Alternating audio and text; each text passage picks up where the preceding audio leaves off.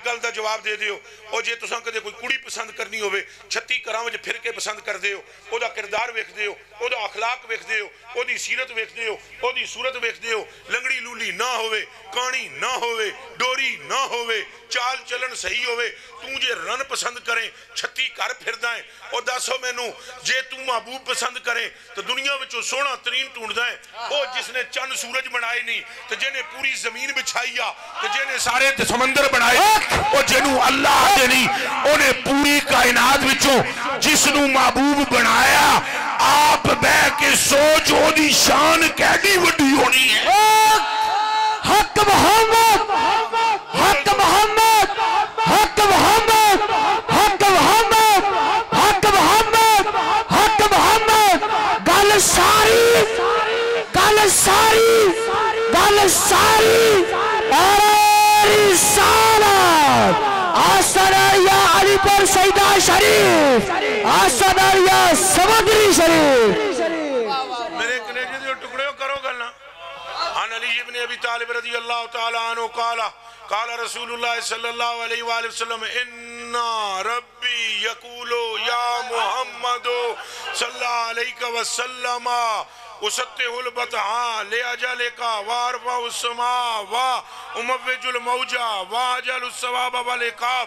مولا علی، راوی، باب مدینہ العلم ہے اخیف الدنیا والآخرہ ہیں۔ چہرے کو دیکھنا عبادت ہے، نام لینا بھی عبادت ہے۔ خون ان کا مصطفیٰ کا خون ہے۔ یہ مصطفیٰ کریم کے معتمد ہیں، چوتھے خلیفہ ہیں، داماد مصطفیٰ ہیں۔ کندہ رسول پر چڑھ کر بتوں کو توڑنے والے۔ ہیں آپ ارشاد فرماتے ہیں، میرے آقا نے مجھ سے فرمایا کہ میرا رب مجھے کہتا ہے علی، میرا رب مجھ سے کہتا ہے کہ اے محمد پاک پیارے، تم پر درود و سلام ہو۔ اب ہم تم کو کہتے ہیں، لے آجا لے کا، تمہاری خاطر بنایا ہے۔ ارفع السما آسمان کی بلندیاں تیری خاطر کیے ہیں۔ اسطح البتہا زمین کو بچھونا تیری خاطر بنایا ہے۔ اموج الموجہ سمندر میں موجیں تیری خاطر پیدا کیے ہیں۔ اجال الثواب والعقاب، تو جو تیری سنت پہ عمل کرے گا، ثواب اس کو دوں گا جو تیری سنت کو چھوڑے گا، عذاب اسے دوں گا۔ ہر شہد تیری نسبت کی بنیاد پر میں نے بنائی ہے۔ او کلیجے دیا ٹکڑیا، اساں پاگل نہ، تائیں تے آدے ہاں۔ جد سب کچھ ہونا دے واسطے ہے، تو مڑ گل بھی ساری سر گل ساری گل ساری سجاہت بلند کر کے سارے گل ساری گل ساری گل ساری نہ دو دیے نہ چار دیے گل ساری آر دیے نہ پار دیے گل ساری گل ساری ارے رسالہ۔ واہ واہ واہ واہ واہ۔ ان کے رب نے ان کا یہ حال رکھا ہے۔ حقیقت وہ آپ جاندہ ہے کیے حقیقت ہمیں معلوم ہو سکتی نہیں۔ ہم نے تو صرف حدیثیں پڑھ رکھی ہیں۔ وہ بھی عقل میں نہیں آتی۔ پترو، عبداللہ بن عباس رضی اللہ تعالیٰ عنہ حضور کے کزن ہیں۔ فرماتے ہیں، عن عبداللہ ابن عباس رضی اللہ تعالیٰ عنہ قالا، کانا لم یکن لرسول اللہ صلی اللہ علیہ وآلہ وسلم ذلن۔ فرمایا، مصطفیٰ کریم چلتے تو مصطفیٰ کریم کا سایہ نہ تھا۔ ولم یکم ما شمس الا غلب زو اوزواہا ذرا کن کھول کے ان سنے ہیں اس حدیث کا ترجمہ۔ فرمایا، سایہ تو تھا نہیں، مگر جب حضور سورج کے سامنے آتے، کہنے لگے، مجھے قسم ہے، ہمارے رب کی جس نے ہمیں پیدا کیا ہے، ہم حضور کے چہرے کو دیکھتے، سورج کو بھی دیکھتے۔ اللہ غلب زو اوزواہا مصطفیٰ کے چہرے کی روشنی، سورج کے چہرے، سورج کی روشنی پر غلبہ پا جاتا۔ ਔਰ ਕਮਲਿਆ ਤੂੰ ਕਿ ਕੋਈ ਮੌਲਵੀ ਸਾਹਿਬ ਦੀ ਤਰ੍ਹਾਂ ਸਮਝਦਾ ਹੈ ਹਜ਼ੂਰ ਨੂੰ ਜਾਂ ਕਿਸੇ ਪੀਰ ਸਾਹਿਬ ਦੀ ਤਰ੍ਹਾਂ ਝੱਲਾ ਹੋਇਆ ਹੈ ਉੱਥੇ ਰਸੂਲ ਨਹੀਂ ਪਹੁੰਚਦੇ جبریل نہیں پہنچ دا سوچ دے صحیح اے حضرت نے شیر پڑھیا فرش والے تیری شوکت کا لب کیا جانے خسروا عرش پہ پھرتا ہے پھریرا تیرا۔ او جڑا قدم پہ چمدہ ہی جبریل او تے صدرہ تک پہنچے ہی تے دس جیڑا قدم پہنچنا لے دی اڑان اتنی ہے تو قدمہ لے دی پرواز حق محمد! حق محمد! حق محمد! حق محمد!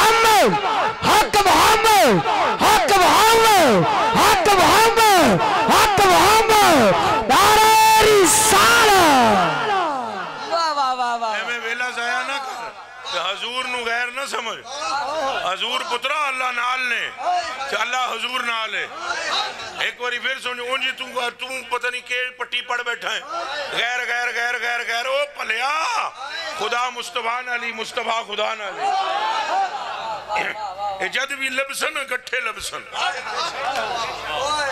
کوئی کسے تو جدا نہ لبسی۔ اے جدوں بھی ملسن، گٹھے ملسن، کوئی کسے تو جدا نہیں ملسی۔ حضرت فرماتے ہیں، اے میں پترو نو نو سا سال پرانی عربی دیاں عبارتاں پیش کر رہے ہیں تو نو نو سال سو سال، نو سو سال پرانی کتابوں کی عبارات میں پیش کر رہا ہوں۔ ہائے کاش کہ یہ آپ کے دل میں اتر جائیں۔ آج ہم کو پنسا دیا گیا۔ حلال حرام کے مسائل ہمیں یاد ہیں۔ مکروح کے مسائل ہمیں یاد ہیں مستحبات و مباح کے مسئلے ہمیں یاد ہیں۔ نہیں یاد تو اس جانے جانا کی عظمت کا نہیں پتا ہمیں۔ او خدا کے بندو، ہر ایک نیکی مقبول ہوتی چلی جائے گی اگر تیرے دل کے اندر درد مصطفیٰ ہوگا۔ تیری نماز کے ٹوٹے پھوٹا ہونا بھی تجھے اللہ کی برگاہ سے محرومیت نہیں دلائے گا۔ شرط یہ ہے کہ اس ٹوٹی ہوئی نماز کے اندر بھی مصطفیٰ کا عشق موجود ہے اور یاد رکھ اگر حضور کی محبت نہ ہوئی تو کیڑا خدا تیری عبادت قبول کرے گا؟ جس خدا نو اساں جان دے ہاں وہ تو محب مصطفیٰ ہے۔ جس خدا دا مینو پتا ہے انہیں تو کائنات مصطفیٰ واسطے بنائی ہے۔ جس خدا نو میں جاندا وہ تو ہر وقت مصطفیٰ پر درود و سلام بیچتا ہے۔ جس خدا کو میں جانتا ہوں، اس نے تو امت کی بخشش کا وعدہ مصطفیٰ سے کر رکھا ہے۔ جس مصطفیٰ کو میں جانتا ہوں، وہ مصطفیٰ تو قبر میں مصطفیٰ کی صورت کو دکھا کر ان کے صدقے میں جنت بنا دیا جائے گا، قبر کو بنا دیا جائے گا اور بنا دے گا۔ جس مصطفیٰ کو میں جانتا ہوں، اس نے تو پل سرات پر قبضہ مصطفیٰ کو دے رکھا ہے، جس مصطفیٰ خدا کو میں جانتا ہوں، اس نے شبات کا تاج مصطفیٰ کے سر پر سجا کر انہیں چھاپے بنا دیا۔ کس کس خدا کی بات کرتے ہو؟ حضرت حضرت حضرت حضرت امام عبد الوہاب الشورانی فرماتے ہیں، سمیتو سیدی علی الخواس میں نے علی خواس یہ شاہ جی جانتے ہیں علی خواس کون ہے؟ علی خواس سے میں نے سنا۔